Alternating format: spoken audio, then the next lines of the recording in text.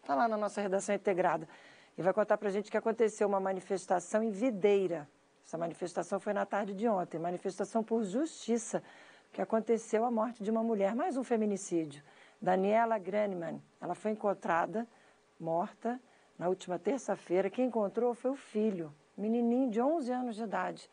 Felipe tem todas as informações porque o ex-companheiro dela, que é o suspeito da morte, está preso, não é isso, Felipe Cross? Bom dia, bem-vindo. Isso mesmo, Márcia. Bom dia para você, bom dia a todos que acompanham Santa Catarina no ar. Esse crime aconteceu na terça-feira, como você disse, o filho de 11 anos, que encontrou a própria mãe, a Daniela, de 40, deitada no quarto, já com muitos golpes ali pelo corpo, vários ferimentos, coberta de sangue. A polícia foi acionada para atender esse caso, inclusive o delegado Gustavo, que é o responsável por esse caso, disse que em toda a carreira dele nunca tinha visto um crime tão brutal como esse. E por conta disso, ontem foi realizada uma manifestação ontem à tarde, lá em Videira, onde cerca de 500 pessoas se reuniram.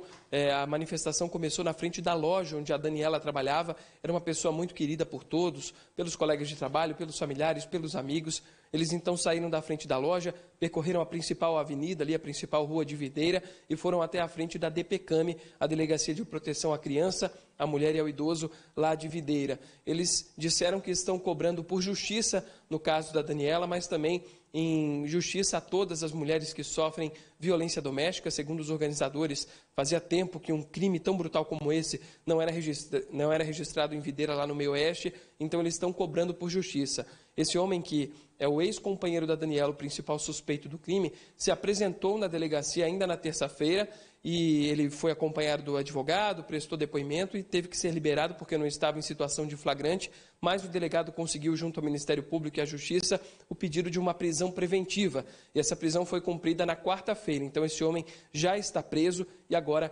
aguarda aí por julgamento. Márcia, contigo no estúdio. Muito triste, né, gente? Mais um registro, mais um feminicídio. Olha aí, é uma moça jovem, bonita. É muito triste esse tipo de registro, esse tipo de situação. E vocês viram a quantidade de gente na manifestação?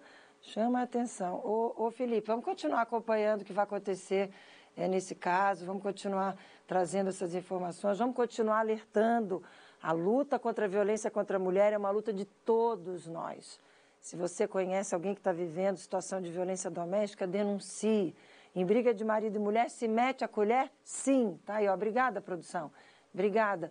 Colocando na tela de novo imagens dessa manifestação que aconteceu em Videira. Essa moça encontrada morta de uma forma extremamente agressiva. Foi, uma, foi um ataque agressivo, né, Felipe? Que o delegado comentou que foi uma coisa muito violenta. A, a, forma como essa moça foi morta. Bom, não interessa como é que ela foi morta, infelizmente ela foi morta, mas aí pela forma violenta que a gente vê a raiva, né, a maldade dessa pessoa que fez isso, a covardia dessa pessoa que fez isso. Felipe Cross, por gentileza, vamos continuar acompanhando. Quer falar alguma coisa? Por favor, pode, pode complementar.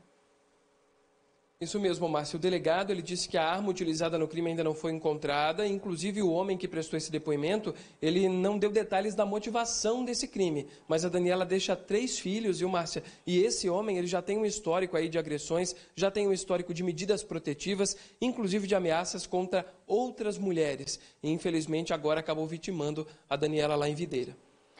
Tá aí. Obrigada pelo registro, obrigada pelas informações. Volto com você daqui a pouquinho com outras notícias aí da sua região, porque agora